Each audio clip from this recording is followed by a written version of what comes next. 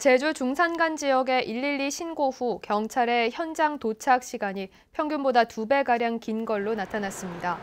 제주경찰청에 따르면 지난해 대흘과 와산, 봉성과 상대리 등 제주 중산간 마을 10개 지역의 112 신고 경찰 평균 도착 시간은 9분 18초로 제주 전체 평균 도착 시간인 5분 2초보다 갑절 가까이 길었습니다.